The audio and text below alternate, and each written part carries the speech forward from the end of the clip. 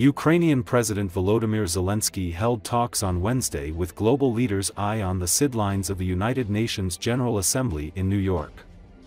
Zelensky met with French President Emmanuel Macron, Panamanian President José Raúl Mulino, South African President Cyril Ramaphosa, and European Council President Charles Michel following his speech at the UN General Assembly. Zelensky urged global leaders Wednesday to stand with his country and not seek lull instead of a real, just peace more than two years into the war with Russia. At a time when he faces growing pressure from Western allies and some of his fellow Ukrainians to negotiate a ceasefire, Zelensky told the UN General Assembly, there's no alternative to the peace formula he presented two years ago. It seeks the expulsion of all Russian forces from Ukraine, accountability for war crimes, release of prisoners of war and deportees, nuclear safety, energy and food security and more. Oh, I'm sorry. No, no, no. How are you? Fine. Yeah. Oh, I arrived yesterday and I, I leave today for Canada. Yeah, just Yeah. Just stay. I'm very happy about that. the Very idea that through to have you here. And um, let me, merci beaucoup. Thank you so much. I heard your speech. thing, It's very clarifying. I, I, I hope that it,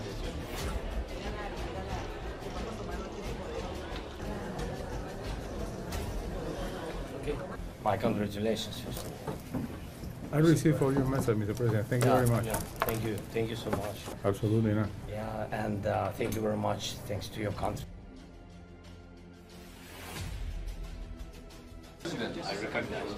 I recognize you as well. How are you? Good to see you. Good to see you. I'm very well.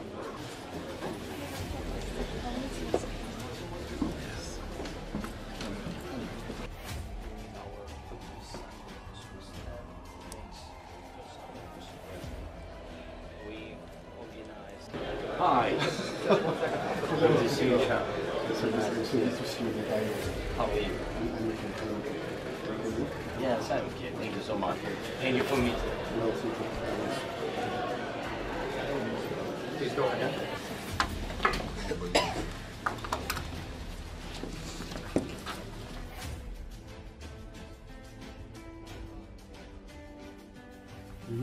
Um, a European Council meeting in October. I think you this meeting is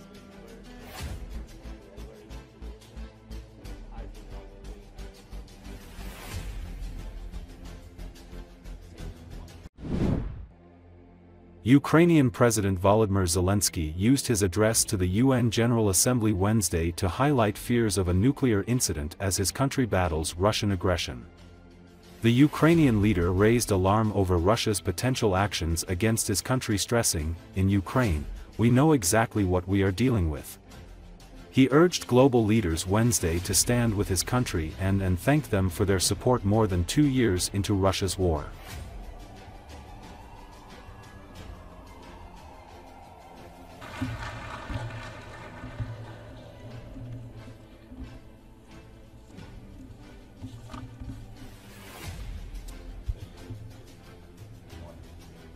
Thank you very much, dear leaders, your excellencies.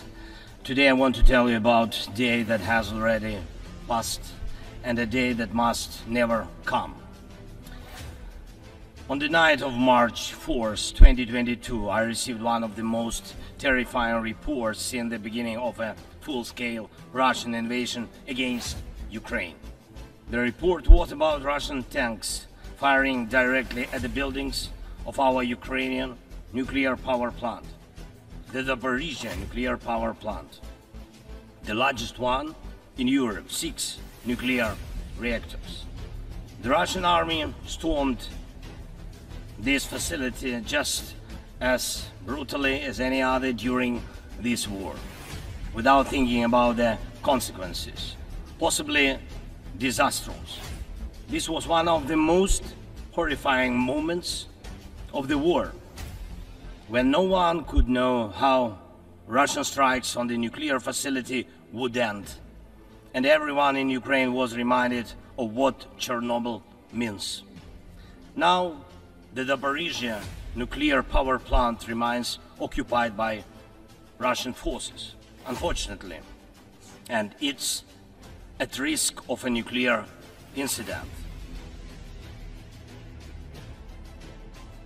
This is the major source of radiation danger in Europe, possibly in the world.